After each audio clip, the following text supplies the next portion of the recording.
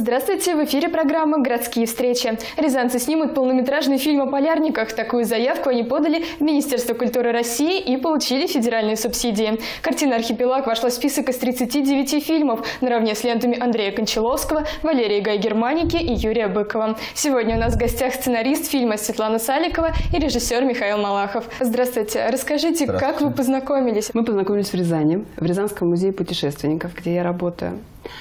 И, э, конечно, мы не могли не познакомиться, потому что закончили один институт, э, Всероссийский государственный институт кинематографии.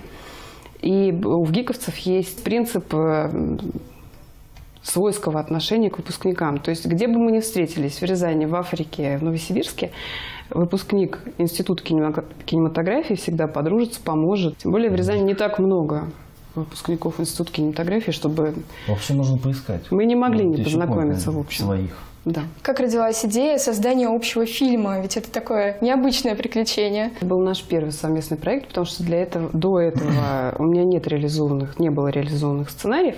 Я писала книги, в том числе и кино.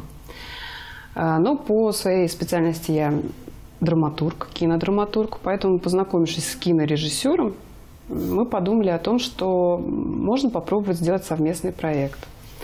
Начали разрабатывать идеи, думать и поняли о том, что есть такая позитивная э, тема «Полярные приключения русских ученых». И выбрали ее. Но Вы же сами связаны с полярниками, Ну да, тем более это хотите? было в рамках проекта, который а, к этому моменту уже завершился. Ну, вот, э, мы назвали его Полярный меридиан, дуга меридиана Свальбард. И он включал в себя как экспедиции, так, собственно, и съемки. И, ну, и фото, соответственно, да, сделали фотоальбом. Но есть еще и документальный фильм. Вот об этой экспедиции, о том, что мы там делали.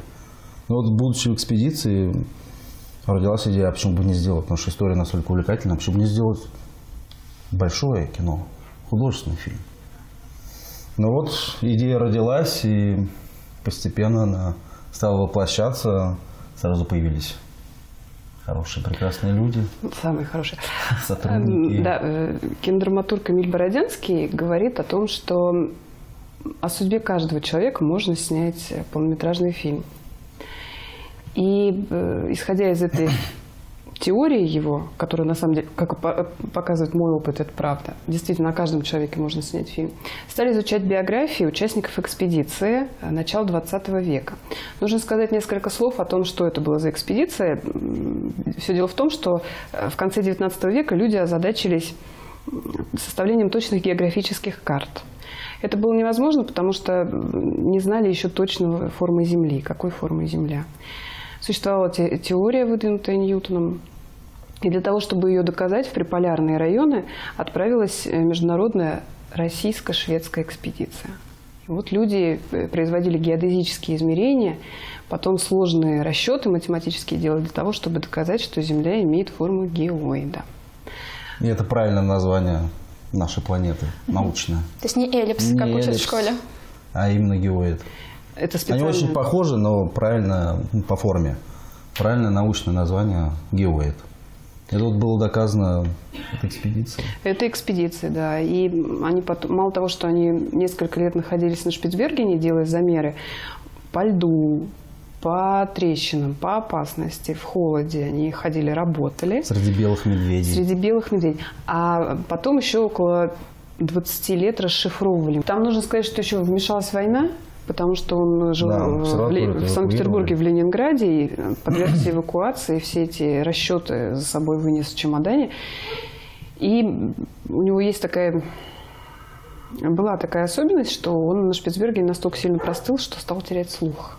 То есть он еще и в, как, в такой изоляции звуковой находился, когда делал. В общем, такой человек. Не оглох, но Как, мне кажется, как Циолковский, что-то общее есть, когда ты в своем мире там этим занимаешься вещами. Светлана, вам Михаил помогал или мешал? Он все-таки достаточно много тоже знает о полярниках. Как у вас вот творческий контакт сложился? А, мучительно. ну, конечно, мучительно. Мучительно он складывался. по-другому? Все мучительно. Ну, у нас у каждого есть свое дело, Потому что кинодраматургия и кинорежиссура, они родственные, но совершенно противоположные.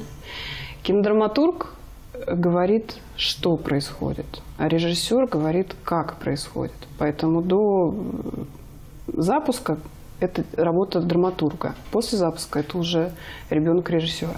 Но все равно старались как-то общаться Старались, старались друг друга слушать, уважать. Михаил, вы же да. сами прошли этот маршрут, который будут проходить герои а, вашего фильма. Это поможет вам работать с актерами или наоборот э, как-то уже, не знаю, свой опыт сложнее передать? Вот можно с уверенностью заявить, что да, я знаю, что хочу от актеров, именно когда они будут вот в этой части, да, то есть экспедиционной. Потому что у нас там история это будет не только вот пошли и весь фильм идут. Тогда никому не интересно. Реки-реки, горы-горы. Ну и в дневниках вот. главного и героя. Без вымысла-то художественно все равно никак не обойтись, без интриги, ну, потому что ну, будет неинтересно. Потому что, ну, такой вот без вымысла документальная часть, а, документальную историю вот мы зафиксировали, на камеры подняли архивы и в документальном фильме отобразили. Вот, а, вот теперь немножко нужно драмы придать. Ну вот про уверенность Михаил сказал. Изучая дневники Васильева, мы как раз читали о том, что одной из самых э, сложных задач было сохранять уверенность, потому что он был главным в группе, и у него, конечно, были сомнения, у него была усталость физическая, была паника при столкновении с опасностью, сомнения, бесконечные сомнения – но, тем не менее, он не позволял себе этого делать, он не, не позволял себе это проявлять. И Даже когда в трещину упал, э, не было никакой паники. Это вот все в дневниках у него описано. Причем паниковали даже матросы, которые были в его команде. Они просто растерялись, а что делать-то? Можно сказать, командир, там, начальник э, в трещине. Все, там, руки, ноги, все опускается. Слабость. А он же сохранил э, ясность ума и говорил тот момент выразили это в документальном фильме. Говорил, что делать. И матросы слушались, выполняли четко его команды. И вот совместным трудом мы вытащили его из трещины. Михаил, у вас уже был опыт работы на съемочной площадке, но тогда вы выступали в качестве второго режиссера. И считается, что это да. более такая техническая, скажем так, организационная работа. Не страшно ли теперь в режиссерское кресло садиться, отвечать за весь съемочный процесс? Ну как, работа второго режиссера – это с одной стороны, да, техническая, а с другой, второй режиссер это кто это?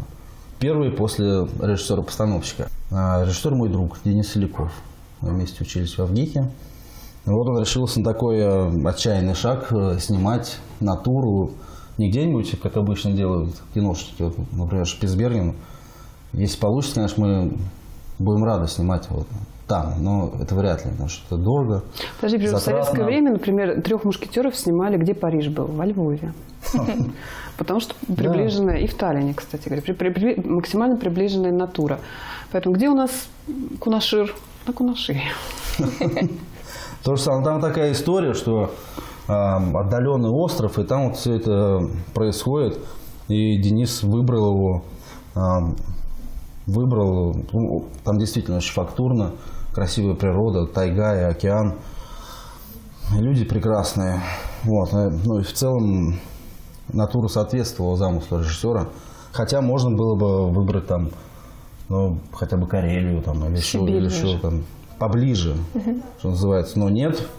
А, потом, как там всплыла приглашенная звезда Татьяна Догилева, она говорила, ребята, ну идиоты.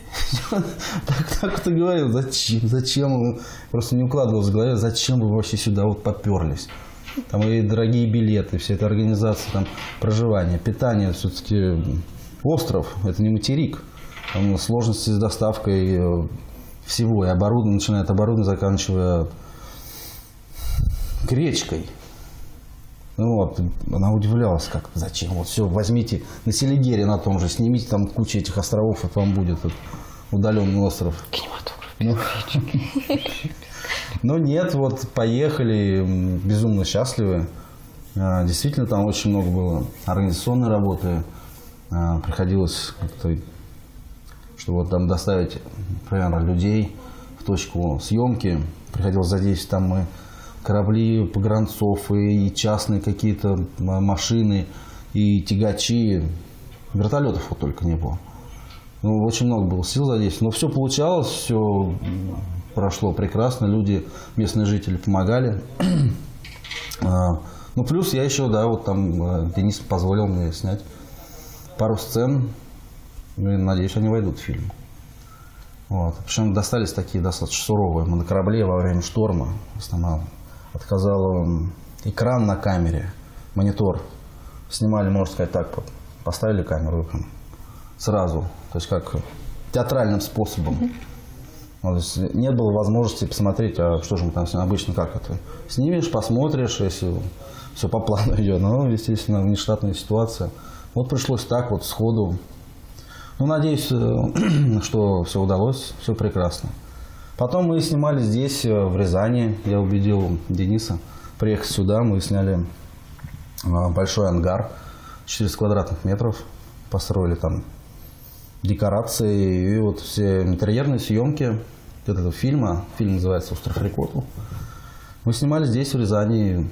Татьяна Догилева, Георгий Иосифович Назаренко. Вот наши звезды, они тоже приезжают сюда. То есть к новому фильму «Архипелаг» вы уже подойдете во всеоружие с командой и представлением о тех локациях, которые у вас будут новых? Ну, хотелось бы, да, надеюсь, что команду утвердят. И локации, отобранные мною, тоже, а, надеюсь, будут приняты. Но я буду настаивать, конечно, на Шпицбергене, потому что такой натуры нигде больше нет. Это точно. Арктика, она там вот весь дух, все там. Но это сложно, конечно. Стараемся. А один из вариантов еще может быть Мурманская область. Ну, Кольский полуостров. Но там тоже очень похоже. Но в любом случае это экспедиция, это, это выезд, это сложно. Светлана, вы как сценарист будете присутствовать на площадке? Я знаю, что в голливудских фильмах есть такая практика. Затем, чтобы актеры правильно произносили текст, сидит на площадке специальный человек, скрипт-супервайзер. А сценарист на площадке может находиться, но, как показывает практика, лучше ему этого не делать, потому что все друг другу мешают. Работа сценариста заканчивается, как только фильм запускается в производство. Ну, просто если вдруг импровизация, придется переписывать какие-то диалоги или сцену. Как говорил Марк Твен, на каждую импровизацию уходит примерно полторы недели. Вот. Поэтому если актер планирует какую-то импровизацию, то он должен обсудить ее с режиссером. И э, если режиссер позволяет ему, а режиссер действует совместно с продюсером э, максимально приближенно к э, киносценарию, то тогда, конечно, да. Вот, то есть, на самом деле, в кино нет случайностей. Мы же тоже не в прямом эфире работаем. Можно камеру выключить и сказать актеру все, что ты думаешь по поводу его импровизации. Там такие порой страсти кипят, а на площадке любовь. Да. Давайте. Но говорят еще, да. что ссорятся, ссорятся все со всеми, кроме исполнительниц главных женских ролей с операторами. Угу. Иначе что, плохо снимут. Конечно. Нос может быть длиннее. Усы могут Такая быть маленькая месть. Размера на два побольше. Вот. Но все у нас не в нашем фильме, у нас все будет хорошо. На каком этапе сейчас находится работа над картиной? Сейчас мы как раз э, завершающие редакцию проводим сценарием, потому что попросили внести определенные корректировки. Там мы использовали белых медведей – их, может, все-таки оставим? На белых медведей сказали не использовать, потому что это компьютерная графика, это дорого. И поэтому теперь убираются шероховатости, подгоняется под бюджет, а, любовную линию редактируем, потому что нам сказали ее усилить. Любовную линию нужно усилить. И, скажем... Мотивации главных героев четко, четче прописываются характеры более понятными делаются? Ну, финальное, финальное редактирование.